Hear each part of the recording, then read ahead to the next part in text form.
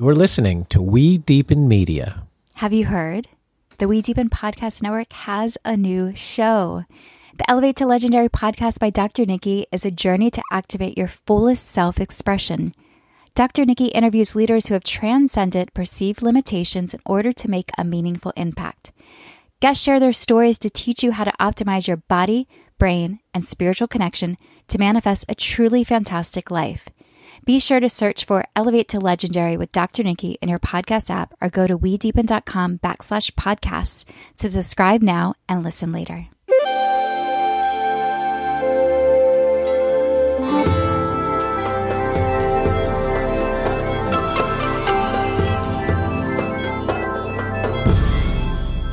Hello, everybody, and welcome to another episode of Deepen with Christina. I'm your host, Christina Weber, founder of We Deepen and Feminine Weapon, and also a certified professional coach supporting experienced designers and those on a journey of self and social discovery. This podcast follows my entrepreneur journey and shines light on the human connection industry. In the last episode, I shared a journey through my psyche in a solo podcast episode. It felt vulnerable. It wasn't my first time doing a solo podcast, but it definitely felt as though it was. I spoke about how I was questioning my relationship with social media and dreaming about living a life without a cell phone. In today's episode, you meet my friend Roman Wyden, who disappeared off of Facebook and Instagram about a year and a half ago. I wanted to hear about his experiences. Before getting into it with him, I'm going to share what's happening with We Deepen and my love life. First, we've added a few festivals and events to the calendar at wedeepen.com backslash calendar. High Vibe Fest happens May 6th through the 8th in Nevada City, California. It's a two night conscious camping festival celebrating good music, organic food, workshops, yoga, healing, fun, and good vibes with many of my favorite people, including new couple Equanimous and Ruby Chase. Go be in the love at High Vibe Fest. Bhakti Fest, Bhakti Love Fest is September 15th through the 18th in Lake Isabella, just two and a half hours outside of Los Angeles. It's three days of kirtans, yoga, chanting, ecstatic dance, produced by One Love Fest. Unleash is returning September 23rd through the 25th in a new location in Austin, Texas. It's a substance free, three day guided transformational dance journey designed as a catalyst to activate your fullest self expression and creative power, releasing limiting blocks that have prevented you from being your truest self expression. Now, this experience is personal for me because, as maybe you've heard, the last Unleash is where I met the new love of my life, Javier. And there have been many couples. Uh, Yadi and I actually just sent a, a baby shower present to a couple who met at Unleash in Los Angeles in the beginning of of 2020. So lots of love happening there, lots of epiphanies, lots of connections. Definitely make sure join me at Unleash. If you haven't checked it out, you have to get to Unleash. And then Tantra speed dates. There's many Tantra speed dates on the calendar in Los Angeles, San Francisco, San Diego, New York City, Boston, London. If you are currently single or in an open relationship, go check out Tantra Speed Date. It's a beautiful in person experience. Use the promo code We Deepen. We set that up for you for network pricing. So use the code, go to the calendar, we wedeepen.com backslash calendar. I am leaving for Puerto Rico this coming week. Javier and I are heading down there uh, for two weeks to explore a new project that he might be taking on. Javier is a builder, construction worker. Uh, he's built agri retreats there in Miami.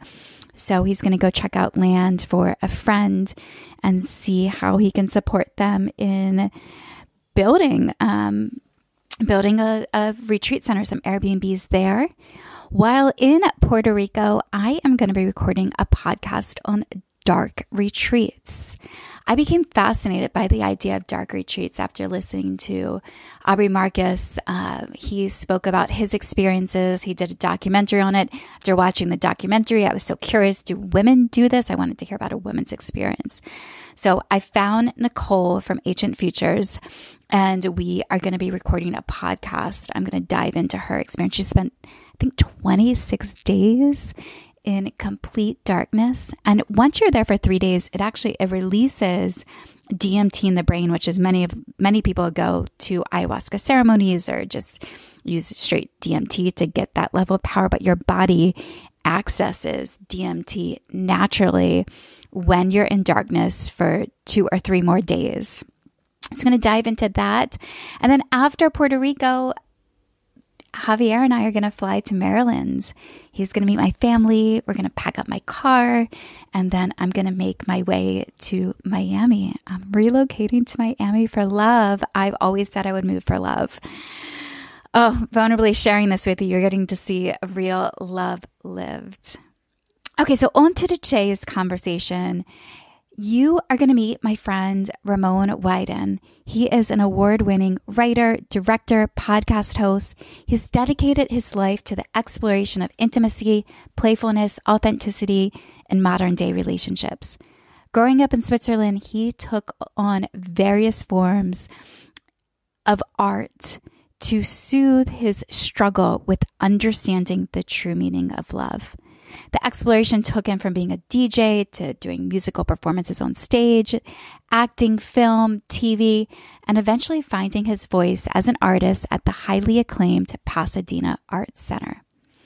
His two podcasts, ADHD is Over and You Love Your Life, have received rave reviews and inspired deeper human connection for families and lovers.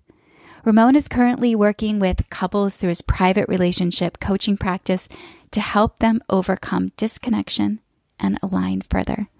Let's get into it. Hello, everybody.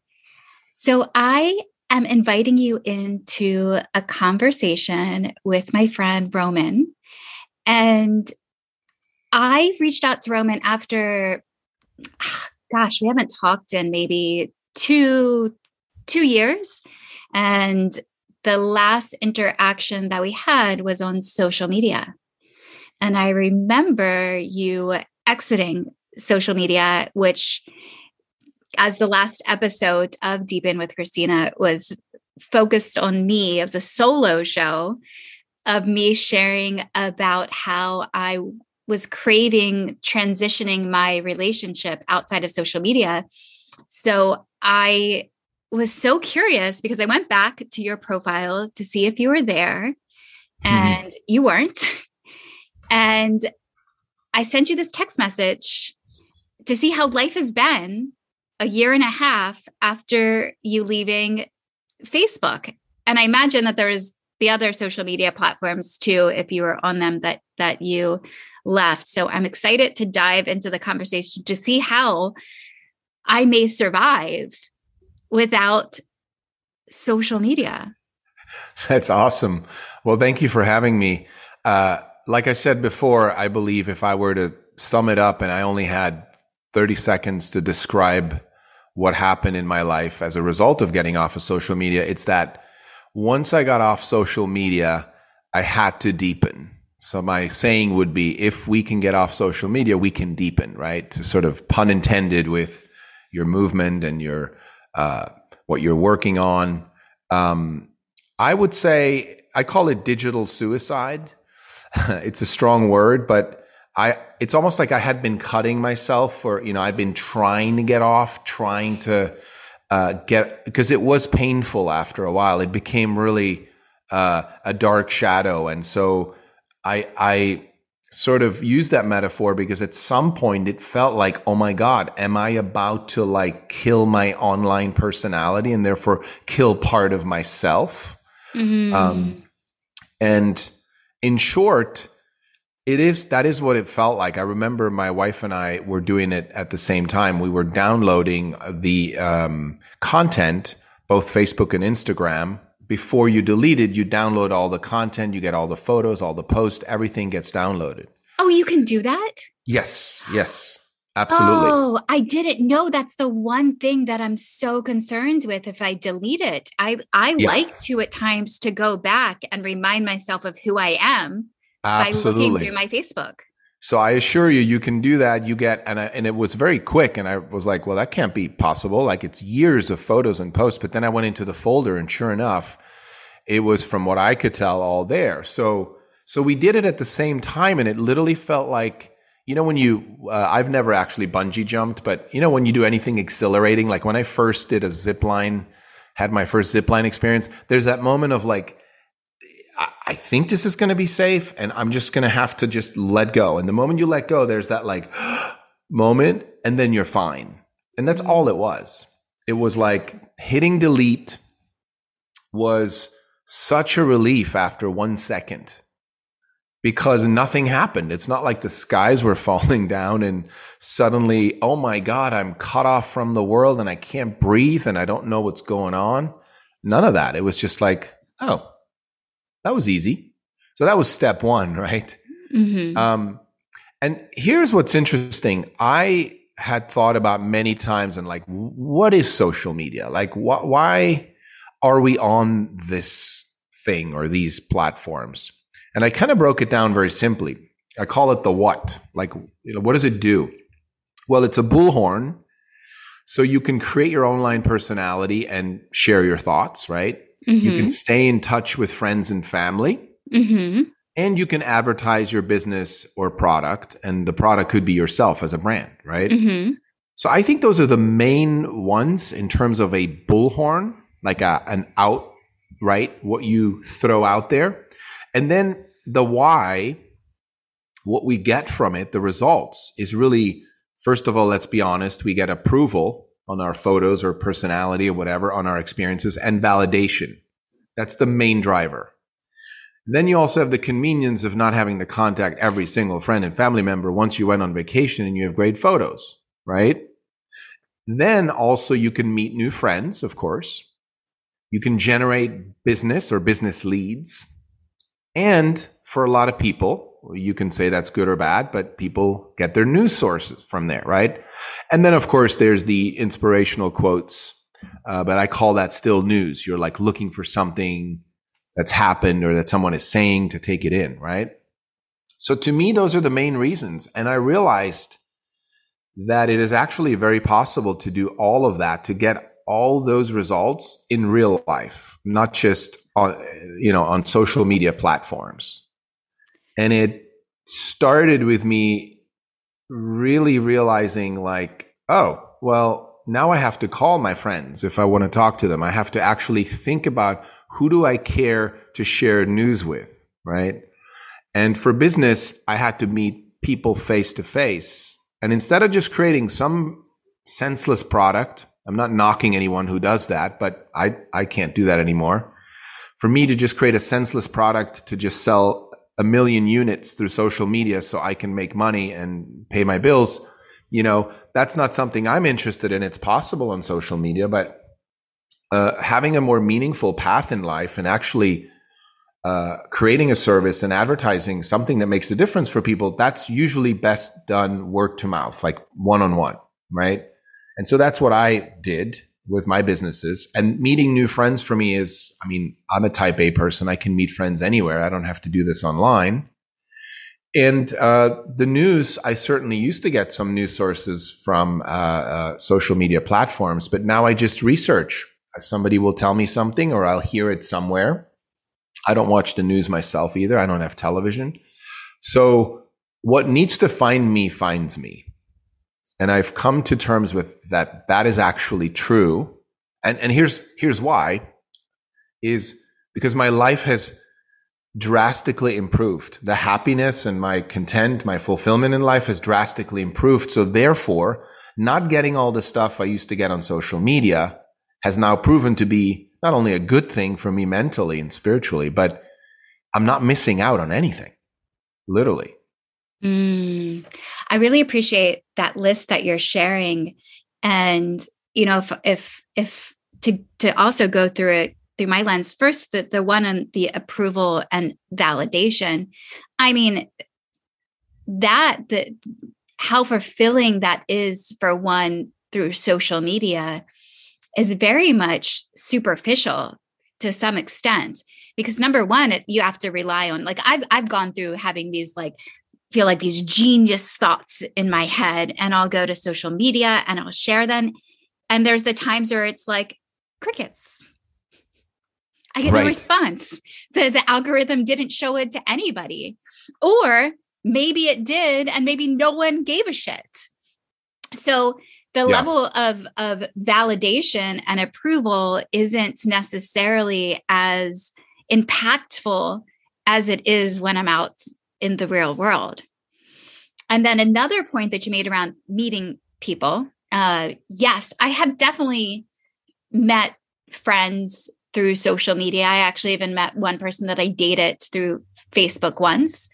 Uh, however, similar to dating apps, the greatest fulfilling relationships that people have are of, of people who they meet in real life. You know, we all love to have the story of how we met somebody.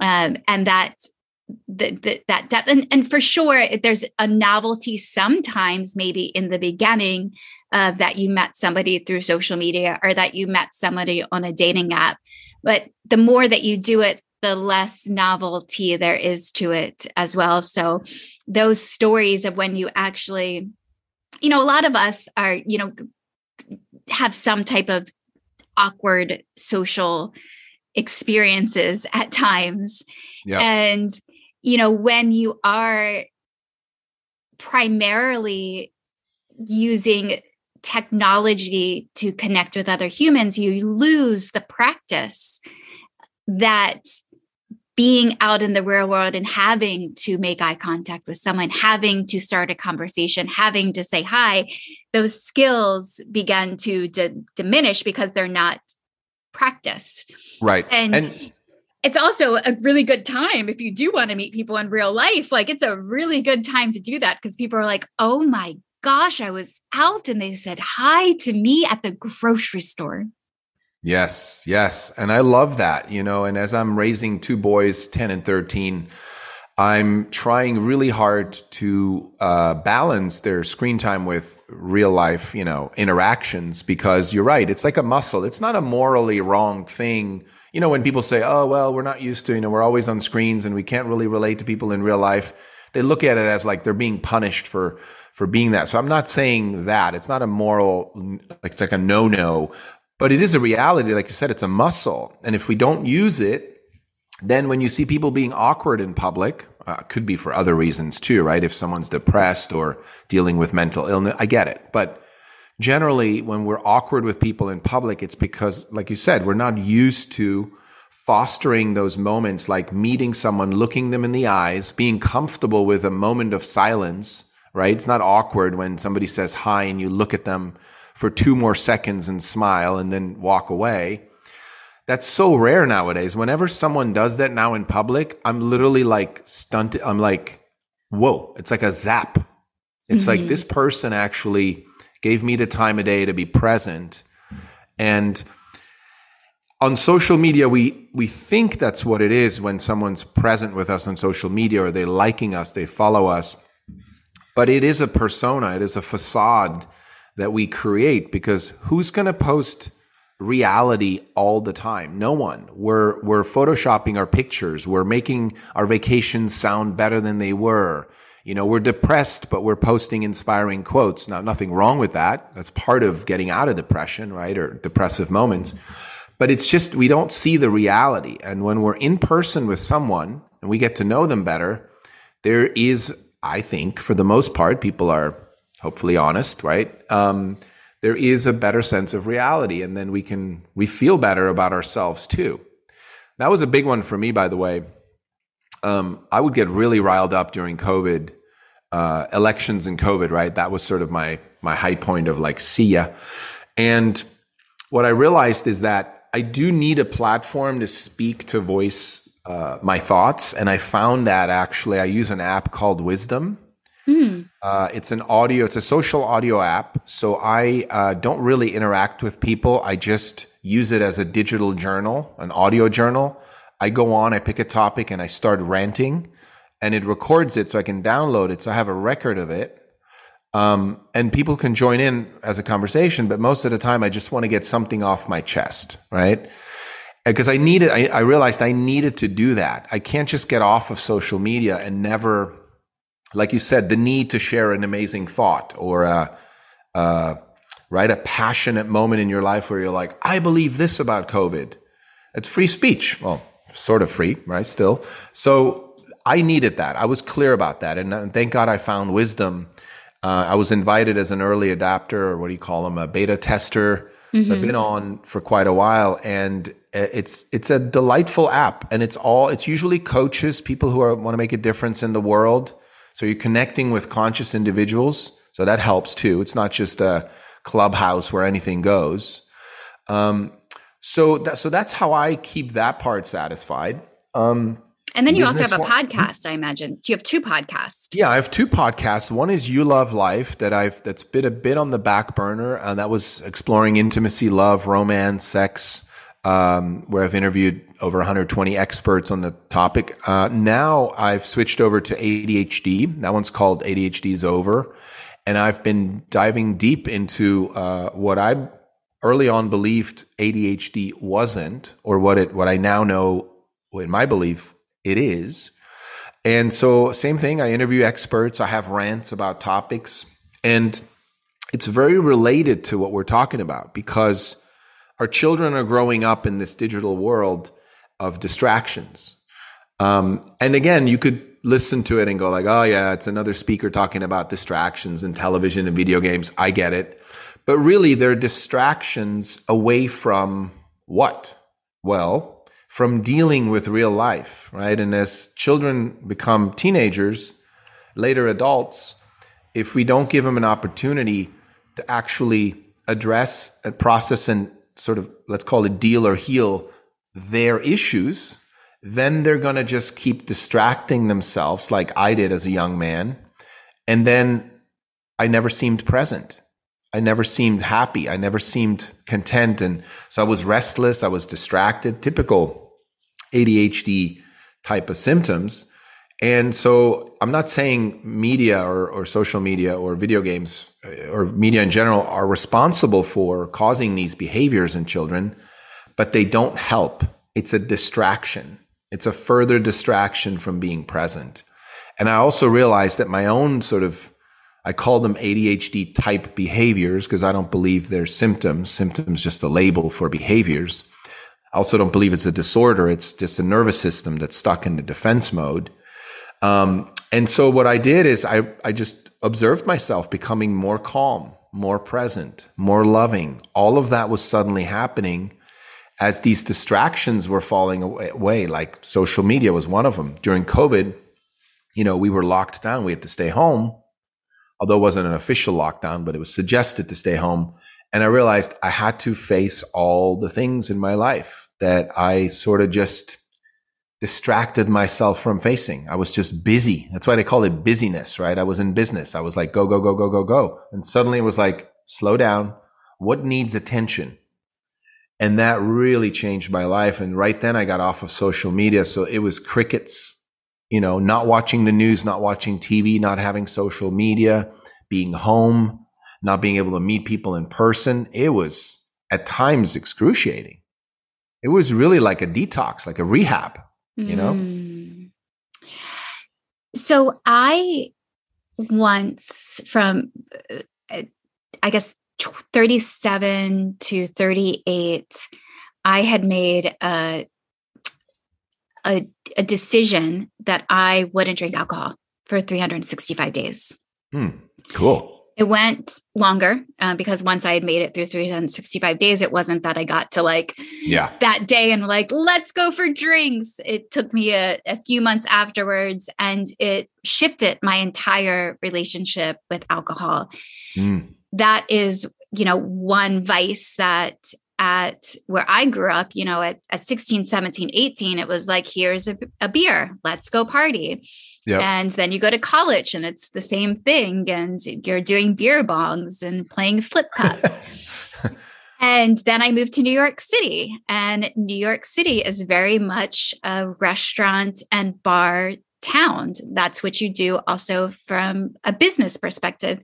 And here yep. I was years later coaching people on dating and love, and also navigating my own personal love life and living in Los Angeles, which is one of the capitals of rehab. Yeah. So there's so many people navigating love and dating in Los Angeles that um, you know don't drink, and there's still a stigma around it. And this is before the craze of sober, par- sober parties. I mean, now at wedeepen.com, it's rare that any of the experiences that are listed there serve alcohol. Uh, hmm. but at this time, you know, it was where do people go to have their first date? They're going to drink.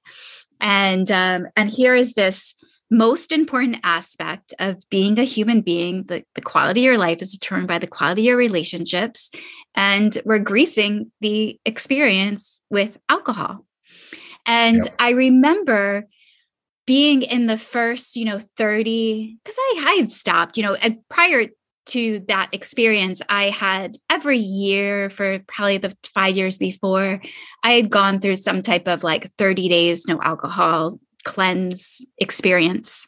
Right. Um, but I never, after the 30 days, I was just like, yes, let's go have a drink. Let's have a glass. I love red wine. uh, and, and so it was really that 90 day mark that I got through that I've, I stopped um, really craving alcohol completely.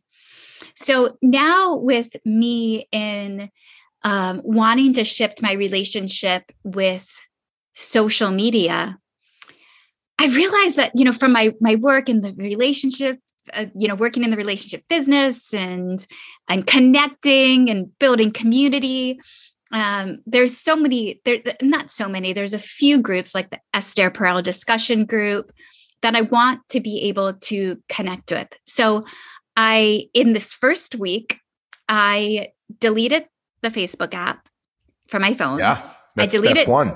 I deleted instagram from my phone Nice. However, I like to share about the podcast episode. So I decided that twice a week I would re download Instagram to share uh, the audiograms and then I'd get off. And I'd stop myself from in the stories because in the stories, you know, the story populates and then you're like, how many views? How many people saw it? Right. And so you're checking those numbers because uh, I realize, you know, you get more engagement uh, from stories than I would from post. Uh, and so I stopped myself from having to go back and see what the number statistically was and just put it out there. And then, you know, there was no scrolling to it. But there were there have been moments over the past week that, you know, where I was laying in bed and it would be a time where I would generally scroll through, you know, start scrolling, or sometimes I'm on a phone conversation. Mm-hmm. And those times during the phone conversation, you'd be scrolling. And I noticed at times I would want to pull for my phone. I would get this sense of like agitation of wanting it back. Yeah. Yeah. Uh, and and so and i haven't just completely deleted i don't know if that's my full on journey however i have a a dream that in a future years that I will go a year without a phone completely. Nice. Yeah. So this is this is a work working up to it. So what I'd love to to hear from you is when after you deleted the app, what was the ex- did you did you did you ever want to go back? Did you ever miss it? Were you ever irritated because you didn't have it anymore? Yeah, it's well, it's all of it, right? And I will say, you just reminded me. I will say that, um, you know, you start small. I remember I had like a few months without the apps on my phone, and then I would do a few months without posting anything, and then once I think I tried almost a year, and I wrote an article about it on Medium, and I, I was already seeing results and happiness increase. So I kind of did it in stages, right? And yeah, first I took the apps off the phone because then if I was at the DMV or somewhere in line, I was like, what do I do? Like, I don't have Facebook and Instagram, right? So, of course, there's still a few apps I use, and I do believe they're also social media, which is LinkedIn, uh, YouTube, right? Because you do interact and you do post and you get feedback. But I use YouTube pretty much like I would use a television. Like I'll watch some soccer, I'll watch an inspirational thing. I don't really comment. Uh, I don't currently add uh, content myself. And then LinkedIn is really just for business. And I've never actually gotten a single job uh, from LinkedIn. Um, but I do have some connections there that I stay in touch with. I never use their post, uh, you know, their, uh, what do you call that? The, their own feature, their social media interactive feature. Um, and then I use Wisdom, which is a social audio app, but it's again, uh, I never look at how many people are in my room. I never look at who's there. I just talk. So I don't interact with people. I don't, you know, I follow them and they follow me, but it's not, you don't post stories, you don't get feedback, any of that.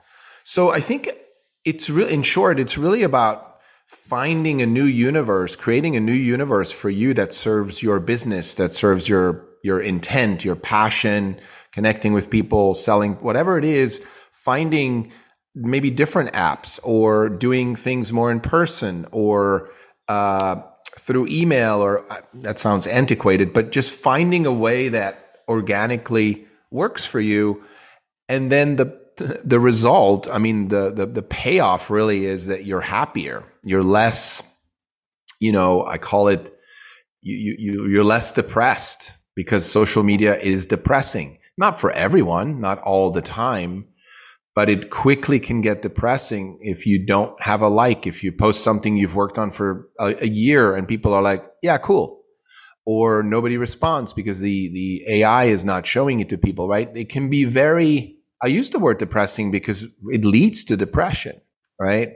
I mean, there's scientific proof now with girls, especially, or young young people uh, feeling more depressed due to social media interactions and the bullying and the suicide and all that stuff, it's real, it's happening. So again, it's not that social media as an idea is bad. It's that if we're not using it to feel better, then we got to reevaluate it. Mm. If we're if we're not feeling better about ourselves and we have all this technology, then what's you know what are we missing here? Uh, I think we're letting technology rule our lives versus using it, you know, for us to create our lives. Yeah, I'm looking down because I wrote some stats before we um, pushed record on this podcast. And I was interesting enough, you know, because I know a, a lot of your work is in the relationship space as well. And I read that half of Americans in romantic relationships say they deal with their partner being distracted by their phones.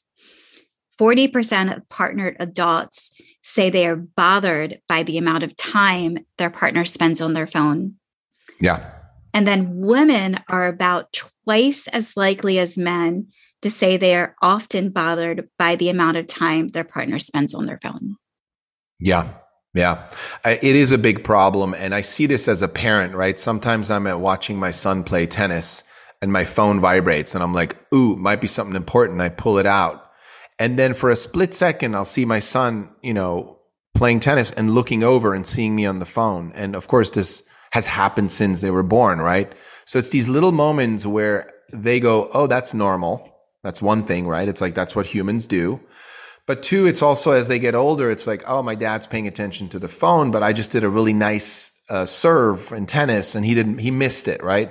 But it happened so quickly that I started to be more aware of that recently. And I believe that when you're in a partnership, I have actually a couple that I'm currently coaching. And one of the complaints is from the husband, actually, that the wife spends too much time on the phone because she's a business owner. Uh, her business is 24 7, right? Because she's selling products online. And it's become a real issue. And she's admitted that she often does it because she's bored. She's wants to be distracted. She doesn't want to deal with life um, in the moment, and also because she's a parent of two young children, and you know their marriage is not not going. It's on the rocks right now. So, but she was aware of that, and she said, "But I can't stop. Like I just, I just, it's it's so habitual, right? And that's the issue. That as we know." all of us can be brainwashed. We can all, you know, start a new, create a new habit out of another one. So it's we just have to do it ourselves. We have to say, stop, no more. Even if we need to put the phones into a box that we lock it up during dinner as parents or, you know, some crazy measure until we're used to it, we have to retrain our brain to say like that's that's too much, you know. And that's hard. That is truly like a rehab. You know, there there's uh two directions that I'm thinking to take this conversation um, to spin it the the first direction is around you know your work with ADHD and mm-hmm. the distraction and the brain um, being in this constant state of absorbing content and and putting on a high stress and, and it's being stressed because it's now the to-do list doesn't go away you're just essentially adding something else that is taking up your attention that is um, um, I guess you're saying stimulating the brain, requiring energetic and attention, that then it's hard to then focus on essentially the goals that you have in mind for yourself. And I know the two of us have even, you've read that book, um, Deep Work. Deep Work, yep. Deep Work. And so there's that one direction that I think would be interesting to take this conversation. And then the other direction is more of like the controversial one. And I'm bringing up the controversial one because I, I I have a feeling that you could ride that wave with me around the quote unquote conspiracy theories.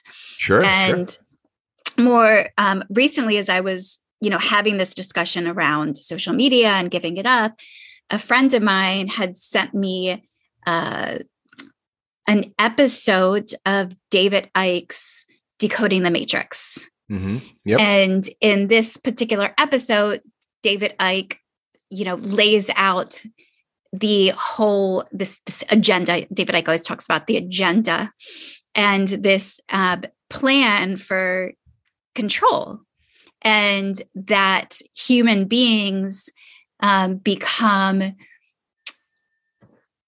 integrated with technology. And he also shared in this episode that you know in um, Switzerland, which I, I uh, Sweden, Switzerland, Switzerland, Switzerland, yeah, yeah, yep. in Switzerland, that there's already you know a group of people that they have in, um, injected these chips into that they when they can open doors because the door knows that it's you know the owner of the house because they yep. have this chip inside of them and so this getting an attachment to our phones is actually part of an overall bigger plan because yeah. our brains will essentially be you know the internet it'll be will be persuaded by all of this content and information yep so i'm curious in and i imagine that you are aware of some of what i'm speaking of and mm-hmm. if that also was part of your decision process for getting off of social media. Well, I love the topic. I love the question. I'm going to pause the question first and and just address what you said. Um, I've certainly been aware of uh, you know a lot of conspiracy theories during the COVID election time.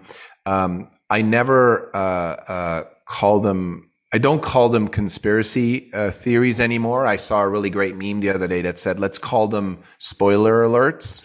I like mm. that because a lot of the things that were conspiracy theory back in, you know, 2020 and 21 are now, have now become a reality.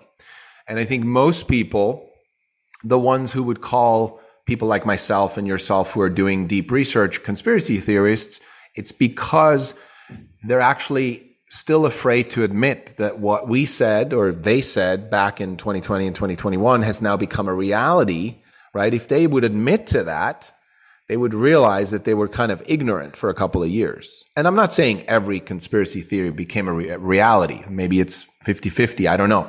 But so that said, when I hear what you were talking about and when I've heard David Icke speak around that, I used to look at it as a very dark, you know, like there is the bad people that are going to make us do things for their, you know, uh, wealth and power. Sure. I mean, we already know that exists. Anyone denying that there's some really powerful people, you know, doing it for themselves, I mean, is is literally ignorant, right? That that term, they're ignoring the, the facts. So that said, I do believe that's just part of human nature, right? You become more powerful. You want power. Why? You set the key word to be in control. Well, control is an illusion because we can't really control things. Um, we can feel like we're in control for a while and then we die. So we didn't have control really. But so getting back to the control part, um, I believe that there are uh, uh, certain people out there who, much like a science fiction movie, who know where it's all heading, right? Elon Musk and all these people. We know that eventually uh, the phone, we you know, it'll be integrated into the body and connected to the brain. It's the hard drive, the internet, like you said. It's all going there anyway. Like artificial intelligence is is unstoppable. We can't stop it because that's progress of technology. That's just you know convenience. We want to have a robot that does things for us, right? um, or systems that work automatically. So, how I uh, came across this is I had a very interesting thought while I was uh, diving deep on ADHD, because one of the big, uh, you know, uh, factors to diagnose ADHD, one of the big symptoms is impulsivity. Mm. And I always thought, like, well, I'm a very impulsive person, and I've been very successful in life. I often uh, do things so impulsively that people are like, "Wait, what? You, you haven't even done any research about it." And here's the kicker. I realized that when I've when I listen to my intuition, and it takes time and, and, and energy and you know effort to uh, calibrate our intuition. And I realized why is my intuition so clear that I can just go and do it and I don't doubt it. And I realized it's because I've been impulsive enough to make mistakes and learn or to be successful and learn through my right impulsive actions that now I can trust it. It's like a muscle. And then I thought, wait a minute, artificial intelligence is going to have a hard time replacing impulsive people because they're unpredictable. But it can replace people who have a very predictable life, who, you know, go to work at the same time, who do the research, make, you know, make their actions uh, based on what other people say. It's just a very predictable way of living. So think about any job that's predictable, you can replace quickly with artificial intelligence because it's, re- it's repetitive. It's the same patterns, right? But when you're trying to like copy or imitate an impulsive person who you never know what they're going to do next, good luck. You cannot replace that person. So I thought, yay for ADHD people because they're going to be the last ones to be replaced with artificial intelligence. The first ones to go are what I call the farmers, the drones that are just doing the same boring work every day, who it's not really their passion, right? They don't listen to their impulses. They don't listen to their intuition, which by the way, sorry, I'm rambling, but I'm really passionate about this one of the other things I realized is that the government or the powers to be or whoever's trying to control people, right? Um, let's just say that's what's happening. You know, really, if you look at it, if you have people who are externally dependent on the news, the feedback, the government, right? They always look to the outside to sort of get a sense of what they should do next. You create dependency that's external. But if you have people, individuals who trust their intuition, right? Who calibrate it, their intuition, who trust their intuition, so they're referenced internally, they're, they're going to be independent because they don't need you or I or the government to tell them what to do next. They listen, they feel it out, and they go, okay, I'm going to buy that car. I'm going to be with this person. I'm going to change my job. I'm going to move to this town, right? They're not dependent on outside sources. And so I realized that the way to stay powerful as individuals, to not be run by the external power source, is to start creating internal uh, power. And that includes, for me, being off of social media, because that's an external source that informs me and tells me what to do. So, uh, closing the circle, I love the topic. I do believe that there's forces out there uh, uh, trying to control uh, things, but that's just a natural progression of humanity and technology. To me, that's not an evil thing. I mean, we're all we were all born little kids at some point, and then trauma happened, and then we made up our story that now I need to be powerful or I need to show everybody that I'm powerful. So they're just people on a power trip, but they're still human beings trying to figure out how to be happy. So I don't let that weigh me down. I don't see it as a dark cloud of the Illuminati and all that stuff. Great. Those are labels. I get it, but I'm not interested in that. That's not part of my life, you know, doesn't mm. bring me mm. joy. Yeah, there's there's a really good quote that I saw um, months ago around spontaneity is mm. essentially the uh, kind of like the the the it it is what dilutes or almost makes control impossible. Yes, it's the exactly. way to be free. yep, that is absolutely, and of course, I do believe in I call it scheduled spontaneity, right? Because once you have children and business and there's a there's a schedule in your life, you can't just spontaneously go through life and do whatever you want at every moment, right? Ideally, that would be very freeing, but let's face it, we live in a western society with time and schedules. But if we schedule it and we say tomorrow between 8 and 12, I'm going to be spontaneous, right? Even that's a start. That's a way to calibrate and check in like what do i like to do and why do i like to do it? Is it because i'm supposed to now go do yoga? People say you should or do i enjoy it or what else would i want to do right? You start to get to know yourself and that's a huge like i mean i'm in that process right now. I'm 52 and i'm barely getting to know myself uh, and i'm excited about it it's a really exciting uh, uh, time and i did not have time and energy to practice that when I was on social media. I was just too busy, you know, yeah, always gives, distracted.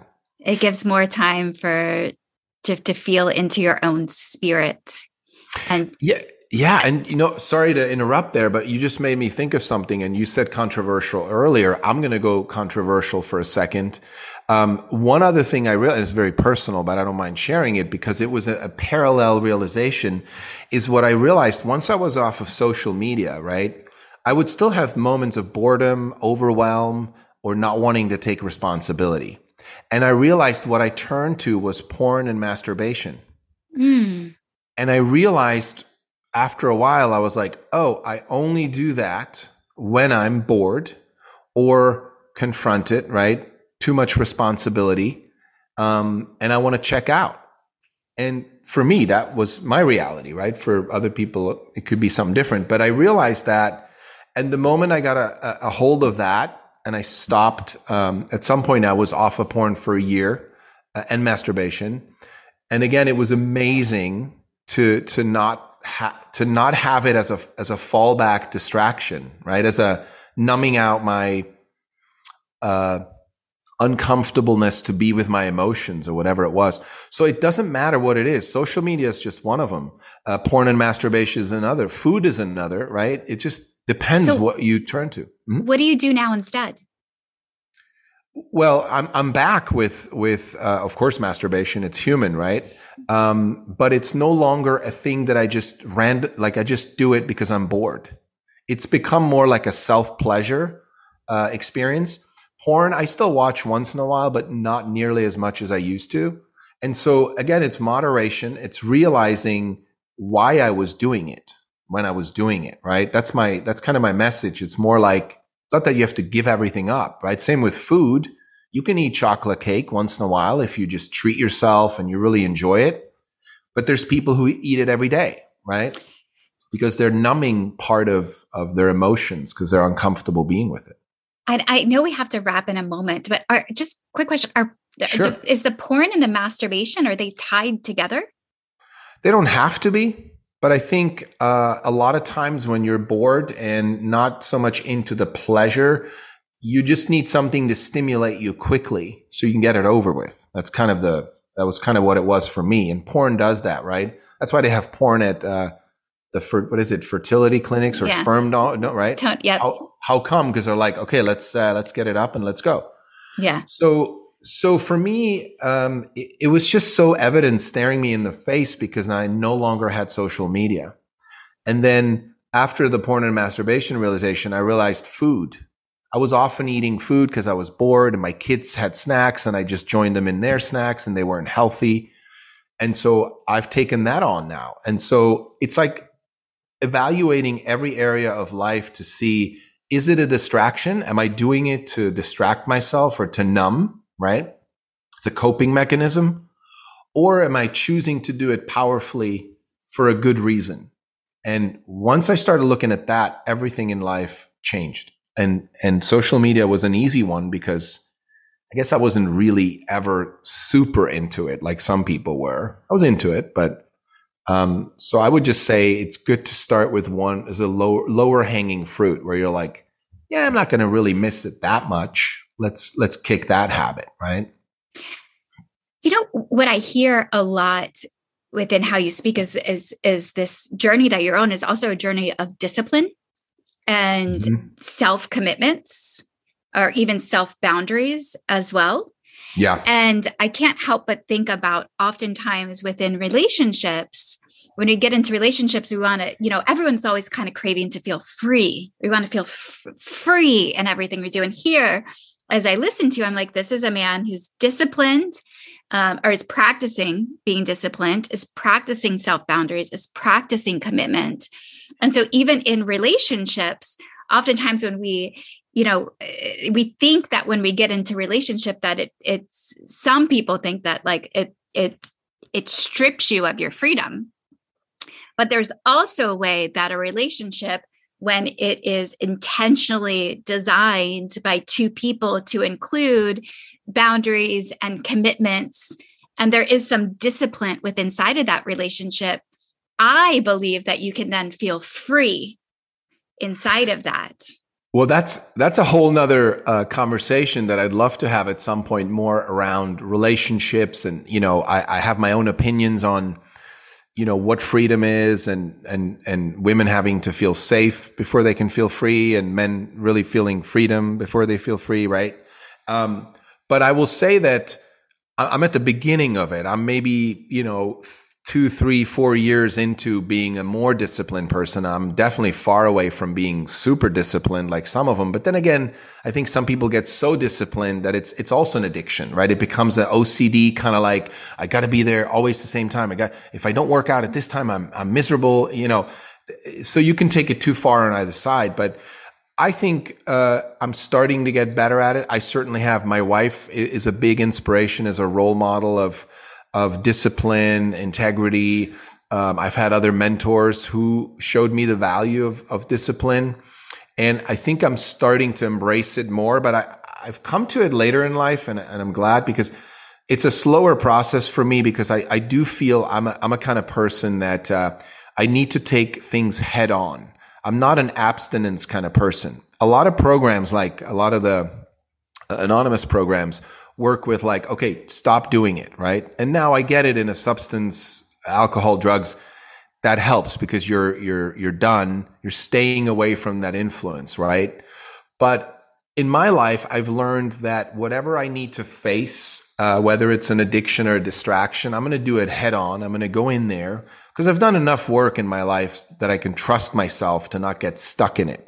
But I go face the dragon and then when I'm done facing it and I realize how destructive it's been in my life, I let it go and I go on to the next one, right?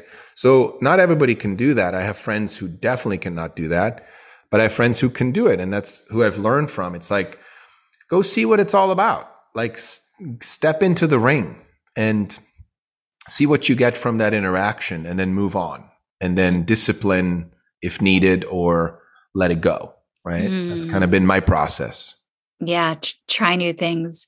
I i could start a whole other conversation right now around um, semen retention but we'll we'll put a, a, pin in that one as well. Yeah that would be great. I'd love to talk about uh, relationships uh, uh, since you're also working in that space together. We could definitely share notes and and relate about it right? Yeah. Thank you so much for joining me for this episode. Your podcast, I, I did listen to an episode of ADHD is over. And I was fascinated by the discussion. I believe that was with Erica, Dr. Doc- Erica. Uh, Dr. Erica Komisar in New York City. Yeah, she's amazing. Yeah, that was a, a, great episode. You'd had really interesting guests. And I am, you know, not a mother at this moment in time, but I found the conversation really insightful um, for anybody who has children or anybody who wants to move through this sense of feeling distracted in a sometimes overly stimulated environment. Um, I really did appreciate also too um, the thinking of you know relaxing the mind um, and how we yeah. create greater environments to do that so we can deeply think um, you know i have a vision or dream to write a script one day and nice. i don't imagine being able to do that if i am poking around on social media and being distracted by every notification or sounds you know that is pulling in for my attention yeah, and I will say just as a last thought that you know, one thing I've learned is this, like life is in the now, right? There's no time. We made it up. It's scientifically proven. And so life happens now and now and now. And our biggest desire is to be present in the now because if we've ever been in it, it's amazing, right? It's the zone, it's the being present. And the only way to be present is when we're not distracted. And the only way not to be distracted is to be present. But when you're trying to lock eyes with someone and there's something dancing here constantly, like left and right, it's literally hard to be, you can still try to do it. Some people can. But I think the goal is to really, to help ourselves is to, to, to put on the, the blinders, if you will, or, you know, to remove the distractions from our environment and then we can be present and then we can realize how ultimately already taken care we are how uh, everything is fine in the moment right? How alive we are when we're present with someone or in an experience. And then we realize oh we don't actually need all those distractions. And why are they there? Let me use them to my benefit. Let me not be run by them. And then we can still use pick and choose right? Mm. So it's not about abstinence. It's not about uh, totally getting rid of every social media type of thing in our lives. It's just figuring out how to how to uh, customize something that works for us. Right. Mm. Amen to that. Where's the best place for listeners to find you?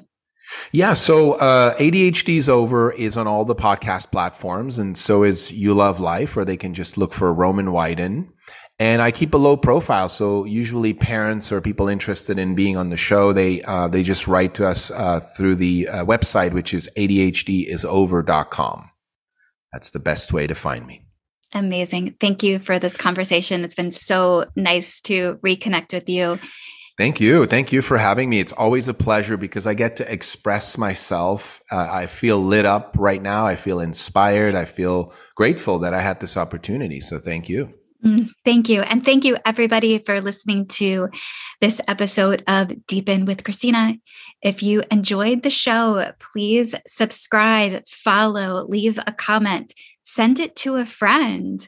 Uh, get them into the discussions. Um, I love that Roman is dancing right now too. um, and go check out the calendar at wedeepen.com. I there are some updates coming out that I'm super excited to share. So if you are listening to this after May of 2022, definitely go see what's happening there. And uh, until next time, enjoy. Bye.